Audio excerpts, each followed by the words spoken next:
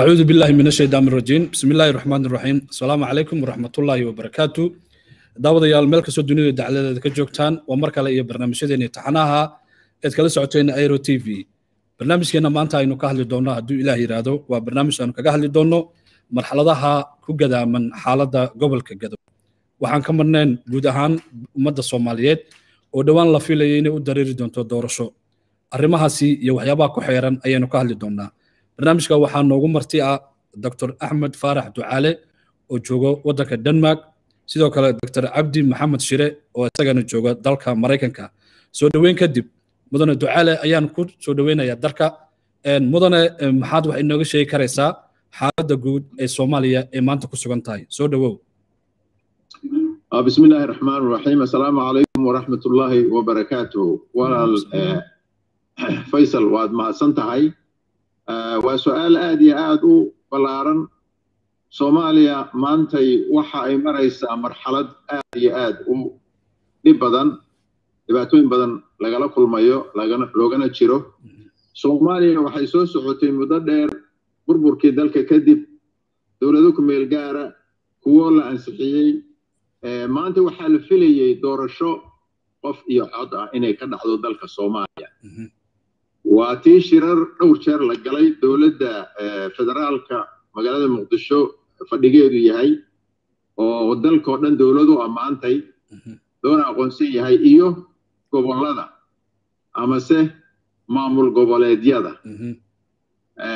Heshiis baa la gaaray magaalada dhuusamareeb lagu soo gaaray in qof iyo cod waddanku uu dareero maanta uu ka gudbo waxyaabaha sida khaldan qabaa'ilka lagu soo dooranhayo oo odayaashu soo xulayaan dad aan la aqoonin dad aan ma garanaysaa la hubinin aqoontooda tayadooda maxaa la yidhaha waddaninimadooda waxyaabo badan oo muhiim u ah waddanka. Sidii la rabo inuu horumar gaaro. Nasiib darro soomaaliya waxaanu ognahay gacmo badan baa ku jira oo soomaaliya maantay wax xaqiiqo ah oo la dhihi karaa arrimaheeda kama tashato oo iyadu mid xukunta eh awoodo kaleetaa dusha ka saaran taa soomaaliya iyo soomaalidu iyagunbaa sabab u ah maxaa wacay soomaalidu waxay odhan kartay annaga ayaa aayaha iyaga ka tashanayna balse ma dhicinoo haddee haddii waddankeennii iyo dowladdiisiiba ay yihiin dowlad ka sugaysa gacan shisheeye jiritaankeedaba dhaqaale ha ahaato siyaasada ha ahaato iyo wax kastaba haddii sidii la doono ayaa lagaa yeelo danaa lagaa firsan waxaa fadhiya soomaaliya. Dowlad baa kod dowladda dul saaran. Waa dowladda fadhida xeraday la dhihi jiray xalane. Waa fact jira weeye maanta oo aan laga indhasaaban karin. Waxaa fadhiya oo aanan maantay qarin karaynin oo khasab igu tahay inaan tilmaamo oon magac dhabo. Ninka u fadhiya qaramada midoobay meesha magac ahaan. James wan. Ninkaasu waxa weeyaan nin aan soomaaliya danaheeda doonaynin ka shaqaynaynin dowlado kaleeta u shaqeeya waa safiir kenya oo la og yahay. Hadda ka horna dhowr jeer baan ka hadlay. Kaasaa waxay dhalisay in dowladdii federaalka lagu khasbo in ay ka noqoto go'aankii ay ku soo gaadhay shirkii ka dhacay magaalada dhuusamareeb oo gobollada oo dhammi isugu yimaadeen laba gobol baa diiday. Waxaa diiday laba gobol sidaa daraaddeed baa waxaa lagu khasbay dowladdii inay inta ka noqoto dib ugu laabato tii ahayd doorashada dadban oo dadka la soo xilayey ee aanay shacabka soomaaliyeed waxay aad iyo aad ugu hanqaltaagahayeen u jeclaayeen aanayna heli karin maanta. Dhibaatadaasu dhibaato weyn oo waddanka saamaysay weeye kuna yeelan doonta saamayn dheer. Maxaa wacay? Mar walba haddii meesha la soo sooco oday walba hadduu soo socdo nin ama america degan ama denmark ama england oo uu meeshii keensado aan lahayn taariikh siyaasadeed iyo aqoon siyaasadeed iyo sidii waddanka loo amase ahba xataa qof ku xiran dowlado kaleeto ay soo magacowdeen. Waddanka marka dhibaatadaas ayaa hor taalla. Ilaahay ha ka saaro. Ummadda soomaaliyeed marka maanta waxay ku jirtaa waqti aad iyo aad u dhib badan. Shacabkiina waxbuu rabaa. Dowladihii shisheeyana wax kale ay la rabaan kuwii dowladaha shisheeye ka socda ilaa aad inta aadan ka bixin qodobka koowaad ee mudane ducaale waxaa taa ruux waaye arag u ah xaaladda soomaaliya iyo iyo iyo waxyaabaha ay soo martay marka laga hadlayo xagga dhaqanka iyo dhaqaalaha iyo siyaasaddaba. Marka ma waxaad leedahay iminka xaaladda waddanka uu ku sugan yahay ma ahan xaalad ay madaxdu ummadda soomaaliyeed ee go'aankeeda garwadeen ka yihiin miyaad leedahay? Waxaan leeyahay oo aan been ahayn madaxda soomaaliya oo sharafta lahu maantay maamulka waddanka iyo siyaasaddiisa gacantooda kuma jirto. Dowlado kaleetaa maamula maxaa yeelay wax alla wixii ay dowladdu soo go'aamiso oo ay la jeceshahay dalkeeda iyo dadkeeda qolaa ganafka ku dhufanaysa u fadhida xalanay sidaa daraaddeed soomaaliya xaaladeedu iyo arrinteedu gacanta dowladda soomaaliyeed kuma jiro waa hagaag. Waan kugu soo noqon doonaa doctor ducaale. Iminkana waxaan u baaqi mudane cabdi maxamed shire oo waddanka maraykanka jooga. Mudane dhowaan inta aynu soo bixin shirkii magaalada muqdisho ee maamul goboleedyada iyo dowladda federaalka waxaa jira mayal adag oo dowladda iska taagtay in dalka laga qaban doono doorasho qof iyo cod ah.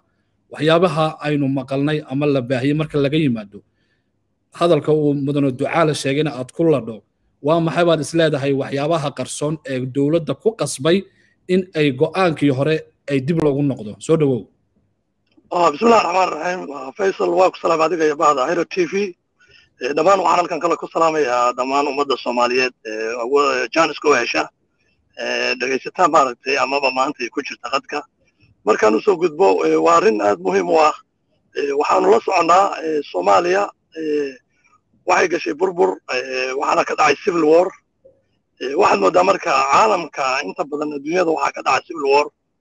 Laakiin waxaad moodaa soomaaliya civil warkeedu inuu yahay mid la gacan midexeeyey marka koowaad buqacadda soomaaliya aan caalamka kaga naalno oo ah buqacad istiraatiijiyad ah oo ah mid caalamka uu ku dirirayo marka markaan u soo noqdo qaabkii doorashada ee ahayd doorasho mid qof iyo cod ah oo ay dowladdu in muddo ahba ka shaqaynaysay sidii ay ugu gudbin lahayd dalka.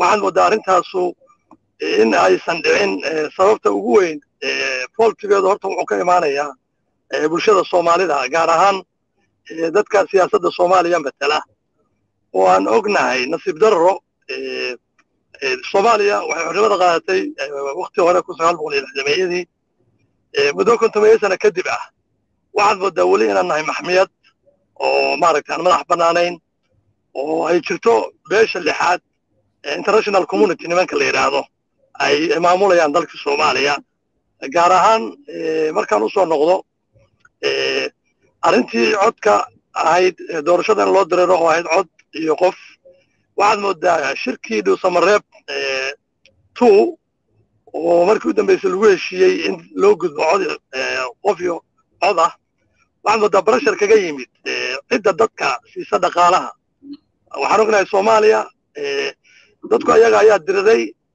ayaga ayaana dalkoodii iibinaya waan ka xumaa inaan idhaahdo. Waddankan aan ku noolahay maraykanka sida la socoto waktiyadii civil warku uu ka dhacay ama dagaaladii uu la galay mexico waxaad ogtahay gobollo badan oo mexico ayuu qabsaday. Waxaad marka moodaa soomaaliya inay ku socoto qaab ah in dalkii dib loo qabsan doono. Iyaduna ka shaqayn doonaan. Kuwa hadda maanta u matalaya maamullada oo dabcan ay habboon tahay weliba marka loo eego. Haddii in recordiskooda dib loo eego marka waxaan leeyahay waxaan ku raacayaa doctor ducaale iyo dhammaan dadka soomaaliyeedba. Dalkeennu ma aha dal xor ah. Sababtaasuna waxay ka timid bulshadii soomaaliyeed oo marka koowaad qabyaalad iyadu aaminsan oo qofka soomaaliga ahi uusan u aabayeelayn dalka iyo diinta iyo dadka nimanka hogaamiyaasha soomaalida ah marka loo eego hadda maamul goboleedyada soomaaliya waxaad og tahay waa waxyaabihii dhacayay inay maantay joogaan waddamo shisheeye oo ay dhaqaale ka raadinayaan. Marka arrintaasu waxaan ugu baaqi lahaa dadka da'da yar ee soomaaliyeed ee jooga dalkii gudihiisii amaba qurbaha waa xilligii ay mas'uuliyaddoodu qaadan lahaayeen. Dalkana lagu soo celin lahaa gacanta. Waxaan ugu baaqaynaa international communitygu in ay daayaan hagardaamada gaar ahaan ninka u fadhiya united nationka james one waxaan ognahay james swan iyo cid kasta oo ah nimanka maamul goboleedyada soomaaliya hadda ee maamul goboleedyada mas'uulka ka ah. Qof kastaa wuxuu hanti ku leeyahay dowlad shisheeye gaar ahaan soomaaliya maanta dhibaatada jirta waxay ka socotaa dowladaha dariska gaar ahaan dalka kenya. Haddii qof dal shisheeye hanti ku haystaay ma mateli karo soomaaliya. Waxaan ugu baaqaynaa hay'adaha maxalliga ah iyo dadka soomaaliyeed ee indergaradka ahi. Inay ka gudbaan qabyaaladda loona soo noqdo axyaa waddana in la xoreeyo dalkii. Oo lagu taageero dowladda soomaaliyeed sidii ay ugu guulaysan lahayd maamulka dalka inay hanato waa hagaag waan kugu soo noqon doonaa iminkana waxaan ugu tallaabayaa qodobka labaad.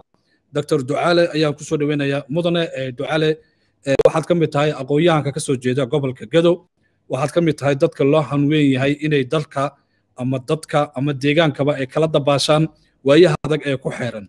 Gobolka gadow laga soo bilaabo muddo soddon guu ah dhibaatooyin iyo qolqolotooyin iyo dhiilooyin colaadeed ayaa ka jira. Waxay u dhexeeyeen shacabka reer gadow haraatida etoobiya iyo hardida kenya maadaama aad ka tirsan tahay aqoon-yahanka ama haldoorka gobolka ka soo jeeda waa maxay xalka gobolkan uu u baahan yahay in seeska loogu dhigo? Soo dhowo mar kale. Waad mahadsan tahay faysal. Giddigan waa idin salaamay mar labaad. Inta aanan gelin gobolka gedo waxaa erey yaru iga raacay arrinta doorashadii soomaaliya iyo xaaladda ay ku sugan tahay. Soo dhowow waxaan rabaa keliya inaan ku kabo hadalkii aan sheegay amase arrintii aan hadda baahiyey dadka soomaaliyeed ayaga ayaa mas'uul ka ah james wan iyo hay'ado kale tiyo qabaa'ilka maxaa la yidhaha ama beelaha lixaad inay waddanka iyo dowladda u taliyaan. Soomaalida waxaa laga la'yahay in ay dowladdeeda noocay doontaba mucaarad ha ugu ahaadeene dalka badbaadadiisa daraaddii in ay dowladda ka jirta maantay gacan siiyaan. Oo ay kabaan dhaqaale ahaan waxa lagu gumaystaa waxaa weeye waddankeenna maantay waxaan ka badnayn inta iyada dibadda joogta oo qurihi toban toban dollar keliya haddaan bishii siino toban dollar. Shaksi walba hadduu maanta waddankiisa ku taageero waxaa suurto geli lahayd soomaaliya in aanay swan iyo iyo iyo maaragtay ninka la yidhaaho yamamoto iyo amisom inaanay u baahateen. Amisom waa gumaysi loogu talagalay dalkayaga iyo dadkayaga inay cagta dusha ka saaraan. Waanan aragnaa waxa ay kenya ka samaynayso gobolka gedo maantay. Oo sida maaragtay waxashnimada ah xoolihii ay laynayso leedahay waxaanu laynay terrorist geel iyo lo terrorista ah weligaya maanaan arag mana jiraan balse shacabka ayay dhan kasta inay ka xuryaamiso ugu talagashay sidaa daraaddeed ummadda soomaaliyeed waxaan leeyahay intaana arrintan ka bixin war bal dib u fakera soomaaliyey oo in maaragtay layska cadtaabaa ma fiicne eh. Aynu bal isku dayno in aanu dowladda dalkeenna u talisa maanta inaanu gacan siino oo annaga oo aan macnaheedu ahayn inaanu annagu doorannay ama aanu annagu si goonni ah qof jeclaysi u taageerayno balse dalkayaga guud danta guud ee soomaaliya daraaddeed. In maanta bal dadka soomaaliya dib u fakeraan baa loo baahan yahay. Haddii kaleeto la isu diyaariyo maxmiyad saxa in la galo. Sidii uu walaalkay sheegay. Gedo yaanu soo laabanaya. Gobolka gedo intii aan gobol soomaaliya ka miduhu aanu liqin laba gobol oo la deris ahaa wuxuu ahaa gobolka ugu weyn soomaaliya. Taariikhiyan.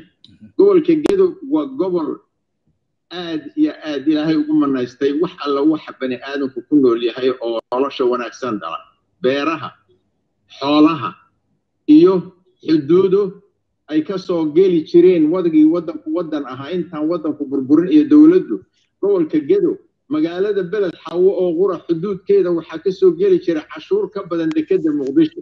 Ayaa ka soo geli jirta dowladda soomaaliya oo dhaqaalaheedu aad ugu salaysnaa xoolaha ilaahay siiyey oo soomaaliya waa waddan qani ku ah wax walba.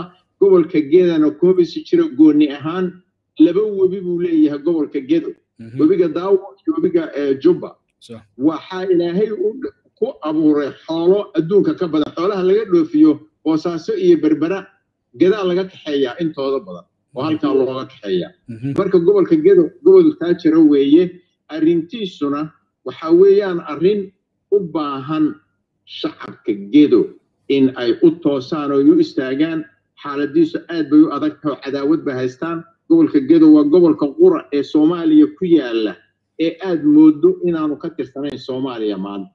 Shacabkeedii oo la laynahayo dalkeediiyo lagu soo duulahayo cadow amisom iyo kenya iyo ummad kasta ay madaxa kaga tumanayso dowladdii muqdishona aanay ka hadlaynin. Waxaan maqlayaa maalmaha kanoo aragnaa ciidamo in la keenay doolow beled xaawo laakiin aan weli iyo baar dheer iyo meelaha ciidan la keenay keliyuhu waxba qaban maayo haddii aanu ciidanku ka hortegi karin cadowga sida cad habeen iyo maalin ugu soo duulaya oo shacabkii xasuuqaya oo dhulkii oo dhan maaragtay ka dhigaya goob dagaal gedo uma baahna waxay u baahan tahay gedo dowladda muqdisho dowladda soomaaliya in ay gobolka gedo horta u aqoonsato inay tahay gobol ka mid ah soomaaliya xuquuqda gobollada soomaaliya oo dhan ay leeyihiin ayaa maxaa wacay gedo weligeed dowlad kasta oo jirta tan iyo talyaanigii. Gobolka gedo xuquuqdiisa soomaalinimo ma uusan helin.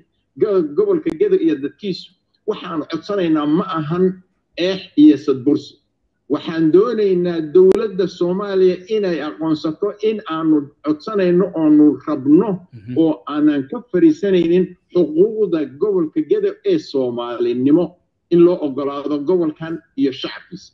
Waxaan codsanaynaa intaa weeye sidaa daraaddeed gobolka gedo oo gobol qani ah laakiin cadaawad iyo dagaal aan ka bixin tan iyo markii dalku burburay aan ka bixin weeye. Sanadkii labadii kun iyo labadii waxaan keenay gobolka gedo mashruuc baan anigu u diyaariyey ducaale mashruuc beereed baan u diyaariyey oo aan rabay inaan ka sameeyo toban kun oo hektaar oo beera ah. Baar dheere buur dhuubo luuq doolow iyo dhulkan daawo la yidhaaho toban kun oo hektaar wax alla wixii qalab loo isticmaali lahaa iyo tayo iyo aqoonba hal mar baan u soo raray gobolka gedo oo aan ka soo dejiyey. Waxay beeri lahayd boqol milyan oo square meter boqol milyan oo square meter ayaan beeri lahayn.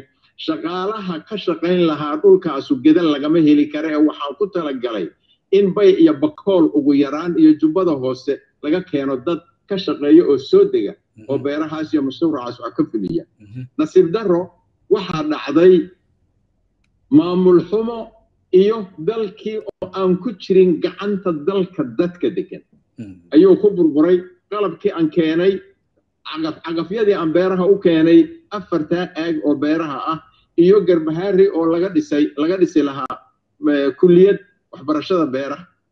Qalabkii aan u keenay maantay intii ugu badneed waxay ka shaqeeyaan etoobiya oo amxaara qaadatay. Etoobiya qaadatay dad baana gacanta u geliyey soomaali ah dad soomaali ah ayaa gacanta u geliyey oo ka raray gobolkii gedo oonu soo diray oo geeyey etoobiya gobolka gedo waa gobol aad iyo aad dhibaato u haysato balse haddii uu heli lahaa lix bilood oo qura oo nabadgelya ah ummadda gedo degan waa isku filan tahay soomaaliyada kaleeto oo dhanna waxbay tari lahayd. Gobolka gedo kaa wey hagaag waa kugu soo noqon doonaa iminkana waxaan u yeerayaa cabdi shire ayaan u yeerayaa. Mudane cabdi shire runtii adigoo waxaad ka tirsan tahay qudhaada haldoorka gobolka ka soo jeeda. Arrimo badanna waad ka dhawaajisay. Dad badan waxa ay leeyihiin haldoorkii gobolka intoodii badan way maqan yihiin. Ama sababa iyaga u gaar ah u maqnaadaan ama xaalado jiro ama darra u maqnaadaan dhaliisha laydiin soo jeedinaya mararka qaar. Ma tahay mid dow ah ku soo dhowow. Faysal aad baad umahadsan tahay markaan u soo noqdo dhaliishu dabcan bilaadanku waa la dhaliili karaa. Waxaan ognahay gobolka gedo xilligii burbur ku dhacay wuxuu daris leeyahay laba dowladood. Markii hore waxaa culays joogta ama dagaal joogta ku hayay dowladda etoobiya aan ognahay hadda xilligan maantayna waad garan kartaa. Waxa ay dowladda kenya ku garaacaysaa diyaarado international communityga. Waxaan ugu yeero beesha lixaad. Na way ku daawanaysaa. Marka taasi marka waxaad garan kartaa gobolka gedo waa gobolka labaad ee ugu weyn soomaaliya. Marka laga eego heerka baaxadda dhulkiisa iyo dhaqaalaha ku jira marka xagga xoolaha waad garan kartaa waa meelaha ugu qanisan xoolaha soomaaliya ayuu ka mid yahay. Beeraha waxaad garan kartaa webiga jubba ayaa mara gobolka dhammaantiis marka laga reebo degmada ceelwaaq oo keliya marka laga reebo. Bulaxawo webiga daawo ayaa mara dhinac buu ka maraa doolow waa webigii baa maray luuq wuu maray baardheer wuu maray. Garbaharey ilaa sideed dhowr toban kilomitr buu u jiraa. Buur dhuuba baar dheere. Marka waxaad garan kartaa dhulka intaa la eg ee dhulbeereedka waxaa intaa ku dheer dhulkii gedo oo ahaa dhulka la yidhaahdo gogolka waxaad garan kartaa marka aanu gedo ka hadalno funujo meesha la yidhaahdo waa meesha dhulka biyaha webiyada ama geedaha buuraha dhadheer ay keenaan. Waa through the waa dhul la beeri karo oo wax walba ay ka bixi karaan. Marka gobolka gedo markaanu ka eegno waxyaabahaanan aqoon oo marka la yidhahdo matalan mineraalka ama uraniumka ogtahay soomaaliya waxaa lagu sheega dhul uranium. Waanta garantaa uraniumku inta badan wuxuu ku jiraa dhulka buuraleyda ah geedoo dhanna waa buuraley petroleumka waxaan xasuustaa sideetameeyadii intii aanan waxbarashada dugsiga sare dhammayn anigoo weliba ku jira xilliga dugsigii sare ayaa waxaan ka noqday kambanigii faransiiska ee baaritaanka ka wada soomaaliya turjubaan oo baaritaanka ka samaynaya soomaaliya o dhan from gedo koonfurta ilaa iyo waqooyiga. Walow aanan xogta dhabta aanan hayn marka loo eego mashruucii dooxada jubba baar dheere marka markaan u soo noqdo gobolka gedo xilligii dowladda dhexe ee soomaaliya waxaad garan kartaa degmada baar dheere iyo balexaw waxay dhaqaalaha dowladdii dhexe ee awoodda badnayd ee soomaaliya ee aad garan karto hawadeeda baddeeda iyo dhulkeeda cid hunguriyayn karta aysan jirin. Iban dalkan qarbiga oon ku noolahay maraykanku uusan geli karin hawada soomaaliya ood ogeyd ciidamadii jamhuuriyadda soomaaliya ee xoogga dalka soomaaliyeed. Difaaca cirka meel walba ay taagnaayeen. Waxaa la sameeyey sahankii ahaa dooxada jubba meesha la yidhaahdo jubba valley. Waa wax documentation oo sideetamayadii la sameeyey. Dalaga laga abuuri karo iyo daamka laga abuuri karo baar dheere wuxuu lagu qiyaasay ilaa central africa inuu gaarsiin karo cunnada iyo korontada. Marka dhulka noocaas ah dadkii ku noolaa maanta gaaja haysa waxaa u dheer xabadda ay ku garaacayso dowladda kenya oo aan laga hadlaynin. Waxaan rabaa inaan uga faa'iidaysta halka kan. Waxaan doonaynaa maanta waxaad og tihiin dalka waxaa jira waxa la yidhaahdo g b s system baa jira. Teknolojiyaduna way fiican tahay. Fadlan waan isku dayaynaa inaan abaabulo dadka gobolka. Waa in la rekoord gareeyaa dhacdo kasta oo dhacaysa oo g b s system la isticmaalaa si aanu hadhow u baraskuud garayno dowladda wuxuushta ah ee kenya oo hadda la rabta garaacaysa gobolka gedo si ay ugu qasabto dowladda iyadoo gacan ka helaysa james swan iyo afhayeenka dalka maraykanka momomoto oo intuba si dhagar ah aan u shaqaynaynin inay gacmaha u qabtaan dowladda soomaaliya. Marka waxaan ugu yeeraynaa gobolka gedo waa gobolka experimentiga soomaaliya dhibaatada laga fulinayo loo soo mariyo loona gudbiyo ilaa xamar oo ah marka soomaaliya la burburinayo waxaa xabaddu ka bilaabataa gedo halkaas ayaama ay ka imaan jirtay etoobiya markii hore. Haddana ay ka socotaa kenya oo lagu burburiyaa dalka soomaaliya laakiin waxaan aad ugu ammaanayaa dadka ku nool gobolka gedo sida qiimaha badan ee ay u diidan yihiin cadownimada iyo dulliga oo ay uga soo horjeedaan ood garan karto xilliyadii labada kun iyo afar iyo tobankii shan iyo tobankii. Taangiyadii etoobiya ay hor taagnaayeen wiilal yaryar iyo markii xuduuddii soomaaliya la rabay in la dhaco kenya ee balaxaawo ay carruur dhagax tuuraysa hor taagnaayeen.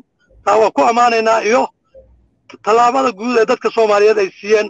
Waxaan ka codsanaynaa dowladda soomaaliya. Waan u soo noqon doonaa. Mudane cabdi maxamed shire kaama goyn geesi lama gaagixiyo. Codsiga iyo baaqa waan u soo noqon doonaa waanu kugu soo noqon doonaa adiga. Waxaan u yeerayaa doctor ducale.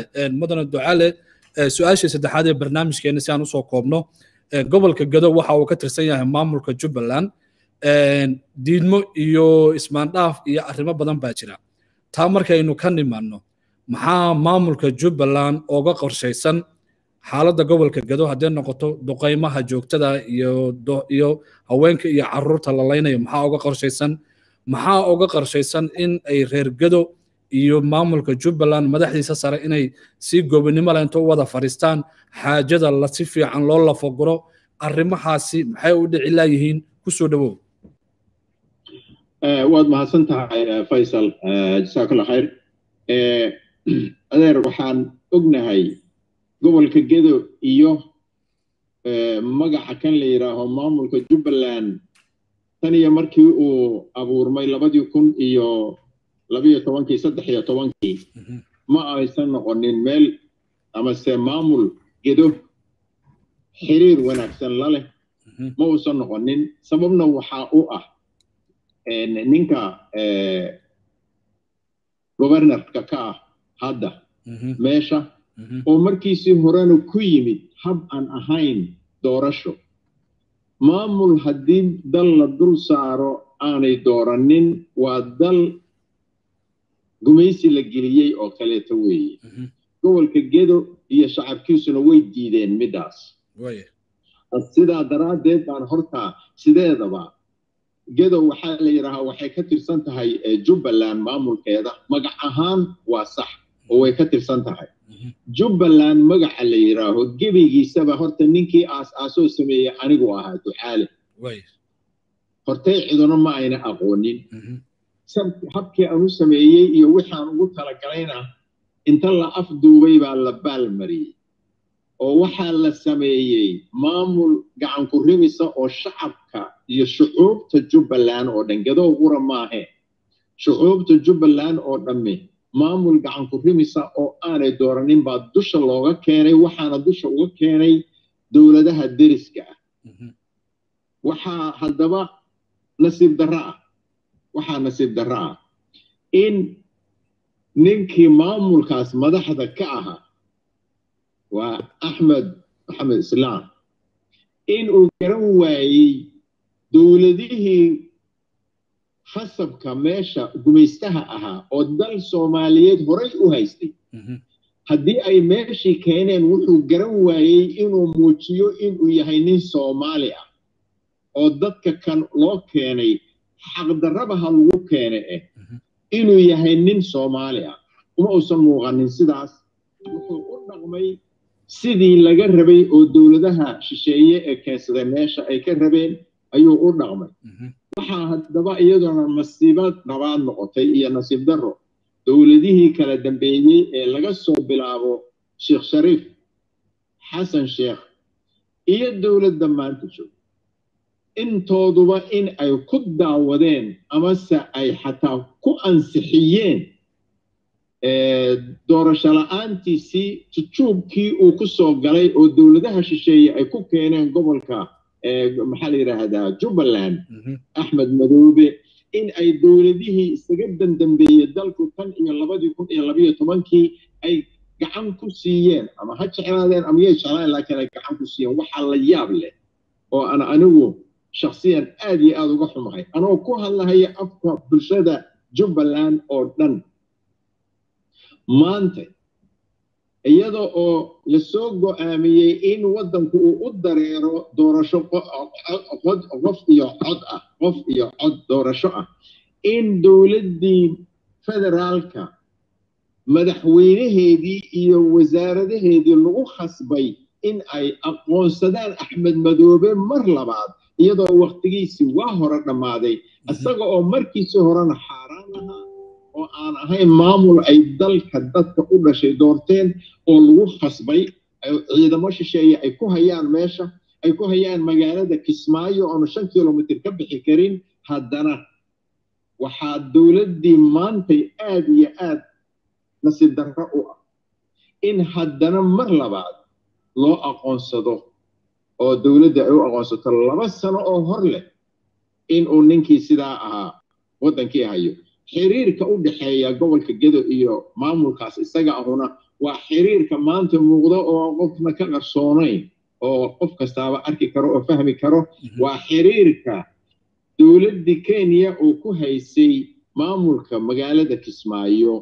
Ay bamgaraynayso oo ay xasuuqayso shacabkii gedood raallina uu uga yahay maamulkii jubbaland dadka maanta sheegta nasiib darrada ugu weynu taa weeye in ay ku daawadaan dowlad cadow ah oo garaacaysa islamarkaana ay sheeganayaan annaga ayaa maamulkeedii ahoo dowladu ah. Xiriirka ka dhexeeya jubbaland iyo gobolka gedo maanta taa weeye waxa weeyaan xiriir farma waa xiriir aan jirin markiisii horena aan aas aasmin. Maxaa waxay hal xaaraanuhu nirig xalaala ma dhashaa la yidhiya maamul xaaraan ku yimid waxba uma noqon hayo shacabkii xaaraanta dusha looga keenay. Waa hagaag.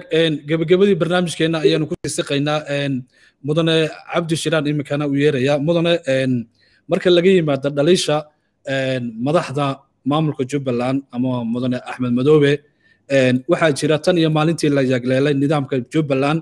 Waxaa jira madaxweyne ku-xigeen yani ka soo jeeda gobolka gado oo maamulkaasi ka tirsanaa. Hore nooga tirsanaa haddana weli ka tirsan dhaliishaasi maxaa looga lalinayaa madaxweyne ku-xigeenka? Maxaa madaxweyne ku-xigeenka loo soo galo fariisin laayahay oo loogala hadli laayahay? Haddiiba yani wax laga tabanayo madaxweynaha maxaa madaxweyne ku-xigeenka loo soo galo fariisin laayahay? Loogu sheegi laayahay xaaladda gobolka marxaladuhu marayo duqaynta joogtada ah taasi maxay u dhici laadahay maadaama aad tihiin haldoorkii gobolka? Faysal waad ku mahadsan tahay. Marka koowaad waxaan rabaa inaan caddeeyo soomaaliya sideedaba waxaa jira nin la yidhahdo madaxweyne ama gumarratore ku-xigeen soomaaliya kama shaqeeyo waana wax cad oo dee systemka ka jira soomaaliya. Waxaan garan karnaa waa one man show dalka dhan waxa ka jira. Marka aanu marka u soo noqonno haddee nin adiga ku magacaabay oo markii horena xoog ku sameeyey maamulkii oo aan ahayn maamul xalaal asagoon ahayn dhistay dee ninkii markaa la shaqa tegay oo hoos fadhiya. Dee waa sidii askari amar la siinayo kala weeye. Marka ma filayo de wax rool uu leeyahay oo uu yeelan karo ma jirto sababtoo ah dee job description labadooda u kala cadba ma jiraanba. Oo madaxweynuhu mas'uuliyaddiisa uma cadda. De ku-xigeenkuna de waaba ka sii liitaayo. Marka taa ma qabo su'aal aan hadda ku canaanan karno sababtoo ah qaabka soomaaliya u dhisan tahay baa waxay tahay ninka madaxda ah ayaa wax walba decide gareeya. Taasuna waa wakti aan u baahanna inaan ka gudubno oo ma joogno xilligan maanta. Ah marka waxaan is leeyahay marka dhibaatada ugu badan waxay tahay soomaaliya waxaa gacanta ku haya still oo ay sugaysaa marka koowaad international community. Waxa islamarkaana burburinaya waxa weeye waa qaybo ka mid a international communitygii oo ah dowladaha deriska wadano kale.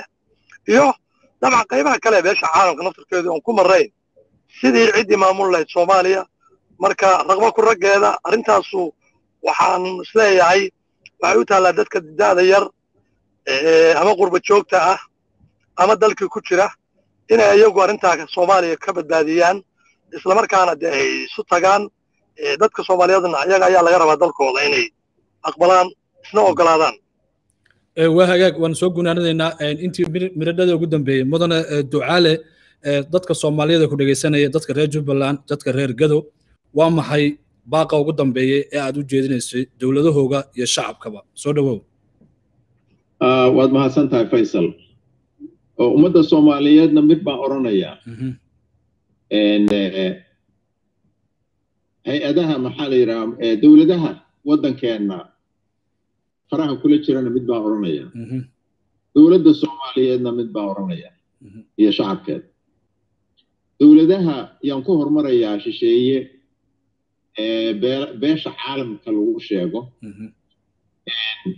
aragtida maantay ay ka haystaan dalkayaga iyo dadkayagu waa aragti khaldan soomaaliya maxmiyad geli mayso shacabka soomaaliyeed maxmiyad geli mahayo waxaa ku daan inaan leeyahay shacabka soomaaliyeed uma baahna in la maamulo ee wuxuu u baahan yahay dowlado saaxiib. Shacabka soomaaliyeed iyo dalka soomaaliya uma baahna gumaysi maldahan soomaaliya waxay u baahan tahay saaxiibo.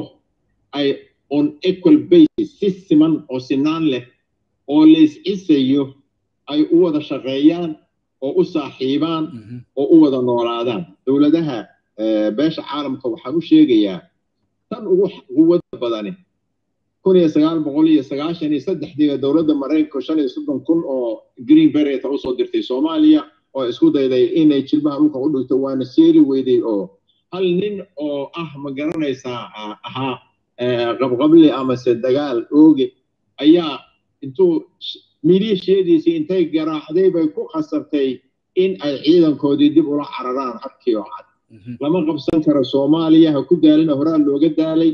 Soomaaliya waxay u baahan tahay saaxiibo.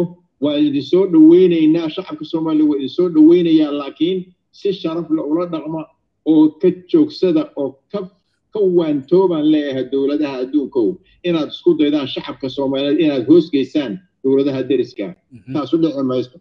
Dowladda soomaaliyeed waxaan leeyahay dowladda soomaaliyeeday mas'uuliyiinta soomaaliyeed madaxda soomaaliyeed gobolka gedo waa qayb ka mida soomaaliya in ay dowladdii iyo baarlamaankii soomaaliya ka aamusnaadaan dowladda kenya oo duqaynaysa oo xasuuqaysa shacabkii soomaaliyeed wax la qaadan karo ma aha waa wax fool xun waa wax aano xun reebaya waa wax aan shacabka gadoosan ku jeclaanaynin dowladda soomaaliya.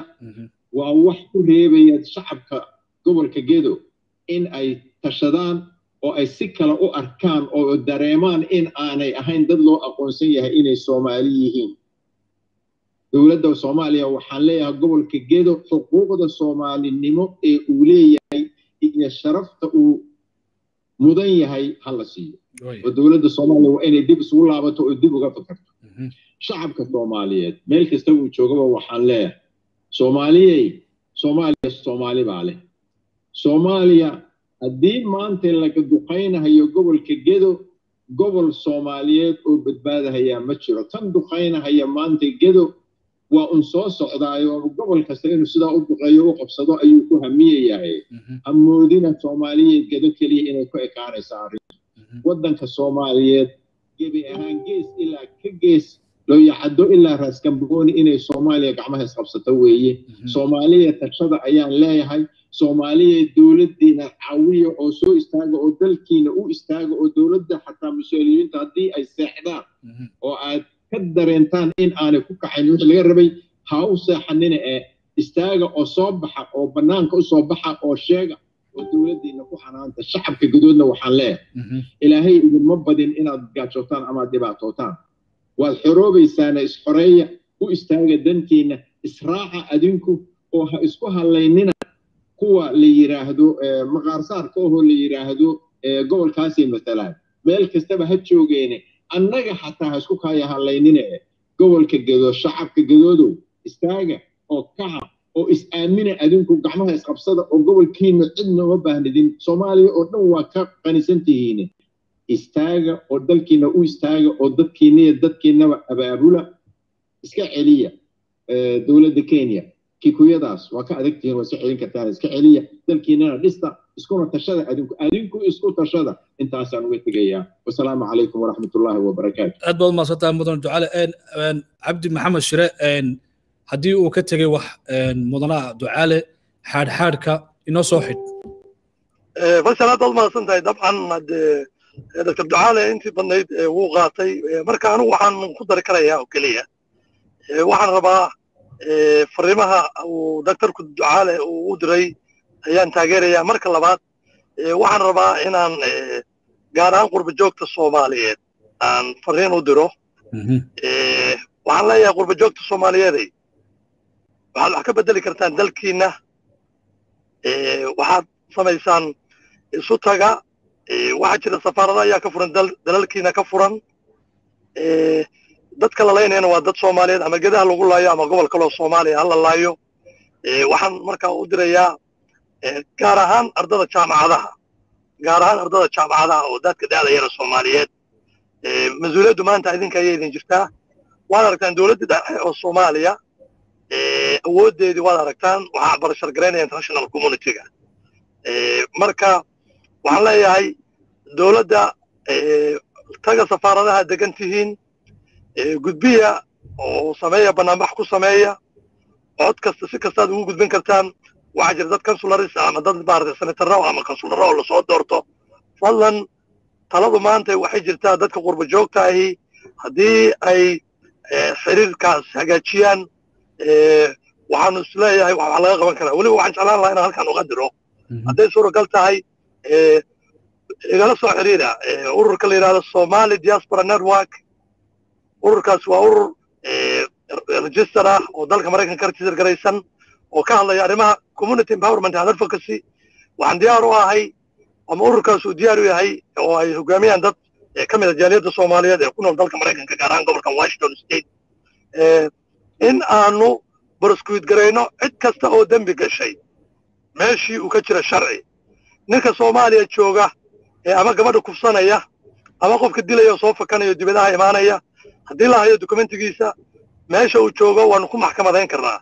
Nimanka international communityga ah oo ah ama hay'adaha enjowyada sida nimanka hadda soomaaliya hogaamiya wakiilka ogaha jimciyadda qurmaha ka dhacaysa waa conflict interest. Waxaan xoogaal u nahay ama aanu la soconnaa inuu hanti ku leeyahay kenya. Arrintaas waa conflict interest. Safiirka jamciyadda qurumaha ka dhexaysa james swan waxa uu hanti ku leeyahay dowladda kenya. Waana ku daba jiraa waxaa jira adduunka waxaa jira sharci. Annagu waxaan nahay dad maraykana gaar ahaan anigu waxaan ka mid ahay bulshada soomaaliyeed ee ku nool dalka maraykanka. Waxaa jira abaabulo ay wadaan bulshada dalka soomaaliyeed ee ku nool maraykanka.